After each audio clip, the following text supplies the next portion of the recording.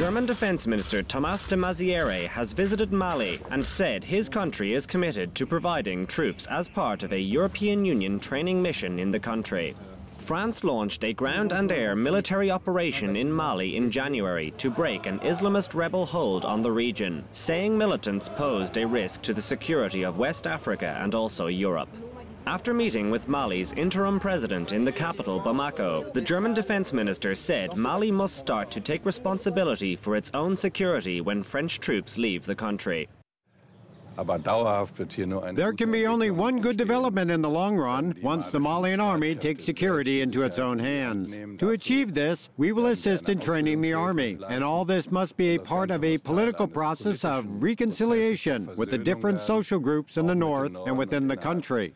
And part of this process will be the election, which will take place in July. The defense minister said Germany is prepared to stay in the country for as long as the mission is needed, and that the European Union has set a duration of 15 months for training operations, but this time frame may be extended.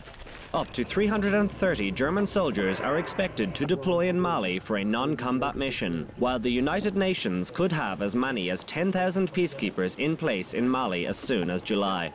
France is seeking to spread the responsibility for post-conflict state building in Mali, but Paris remains concerned that handing over power to the Malian army would represent a vote of confidence in an organization which has proven ineffective in recent years.